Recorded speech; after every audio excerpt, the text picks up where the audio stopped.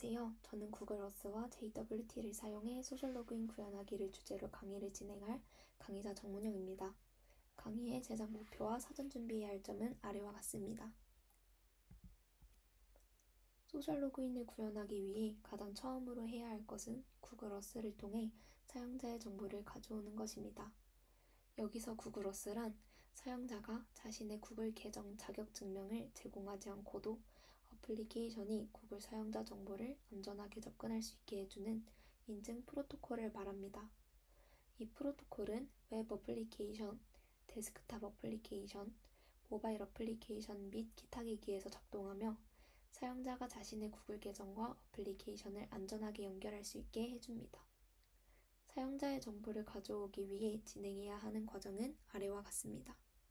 우선 구글 클라우드 콘솔에서 승인 사용자 인증 정보를 생성하고 정보를 요청하기 위한 승인 매개 변수를 설정합니다. 그 이후 구글 OAuth 서버로 redirection하여 접근할 수 있는 코드를 얻어온 다음 해당 코드를 기반으로 최종적인 access token 교환까지 마치면 구글에 등록된 사용자의 정보를 받아올 수 있습니다. 승인 사용자 인증 정보를 생성하는 방법은 다음과 같습니다. 구글 클라우드 콘솔에 들어가 프로젝트를 생성하고 사용자 인증 정보 탭과 어스 동의 화면 설정 탭에서 상세 설정을 해줍니다. 사용자 인증 정보 탭에서는 access token을 받아오기 위한 redirection URI를 설정해줍니다. 어스 동의 화면 탭에서는 서비스의 이름과 도메인을 설정해주고 사용자의 정보를 받아오기 위해 user info 중 프로필, 프로필과 이메일 정보를 받아올 수 있도록 설정해 줍니다. 다음으로는 승인 매개 변수를 설정해 주어야 합니다. 많은 매개 변수들 중 필수적으로 써야 하는 항목인 클라이언트 아이디, 리, 리다이렉트 URL, 리스폰스 타입, 스코프를 기반으로 서버에 접근할 수 있는 코드를 받아올 수 있도록 URL을 작성해 줍니다. 다음과 같이 application OAuth properties에 저장한 항목들을 불러와 서비스단에서 URL을 생성하고 요청을 보냅니다. 여기서 보낸 요청이 정당한 요청이라는 것이 확인되면 URL을 통해 요청한 주소로 redirection이 이루어지고 서버에 접근할 수 있는 access token 요청을 보낼 수 있는 코드가 파라미터로 전송됩니다. 파라미터로 받은 코드와 클라이언트 아이디, 클라이언트 시크릿, 리다이렉트 URL, 그랜트 타입으로 URL을 만들어 POST를 보내면 access token 및 expires in, scope, token type, refresh token, 마지막으로 사용자의 정보를 담고 있는 ID 토큰을 받아올 수 있습니다. 여기서 ID 토큰을 디코딩해주면 사용자의 이름, 이메일 등 구글에 기록되어 있는 사용자의 정보를 받아올 수 있습니다.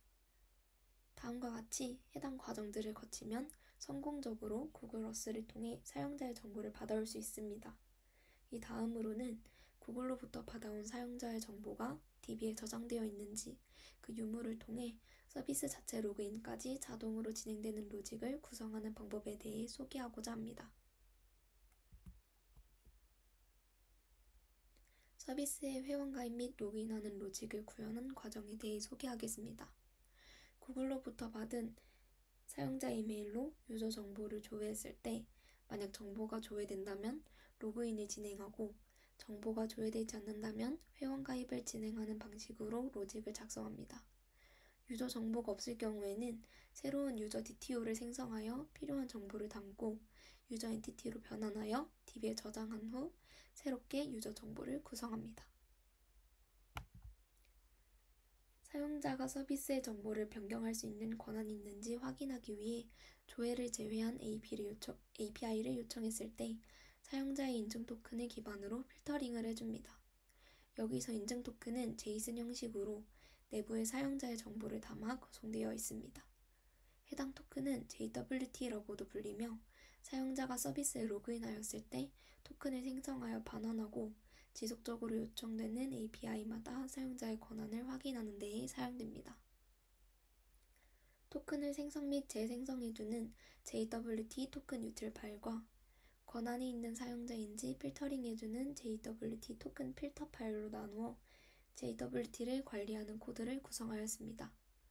먼저 JWT token util 파일에서는 사용자의 이메일과 서비스의 secret key를 기반으로 access token과 refresh token을 생성합니다. 이후 JWT DTO에 담아 사용자에게 반환하여 추후 사용자가 API 요청 시 헤더에 담아서 보낼 access token을 전달합니다.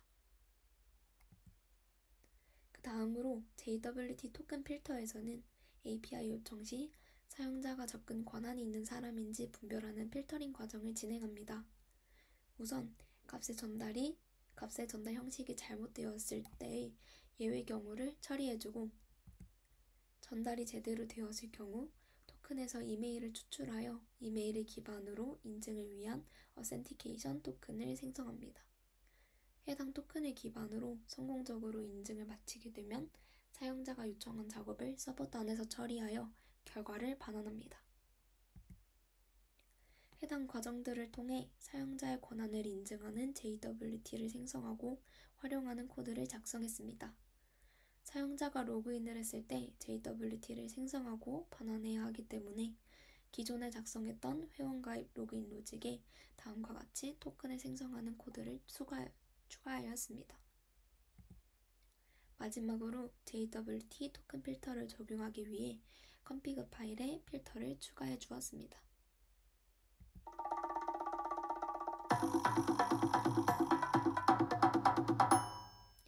여기까지 구글 OAuth와 JWT를 사용해 social login 구현하기를 주제로 발표를 진행한 정문영이었습니다.